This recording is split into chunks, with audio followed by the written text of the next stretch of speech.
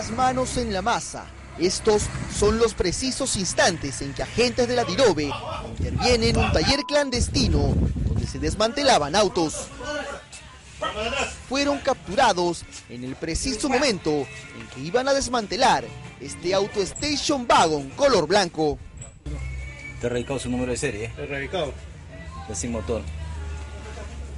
Sin placas. Se ha robado, ¿no? ¿Qué fecha?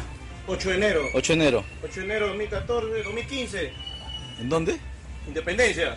8 de enero.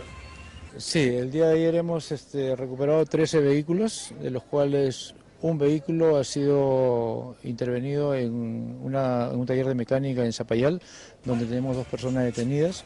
Asimismo, en el interior hay dos vehículos en investigación con los números de serie erradicados.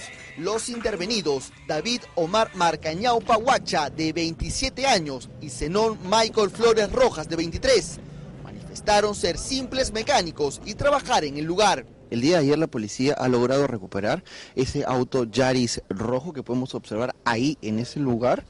Este ha sido recuperado en la zona de Elvira García, en el distrito de Lima, a las 10 y 43 de la noche.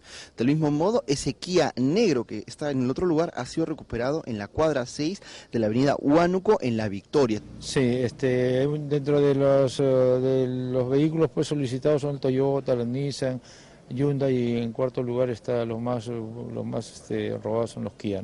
Mientras que estas otras autopartes fueron halladas en una vivienda en Santanita.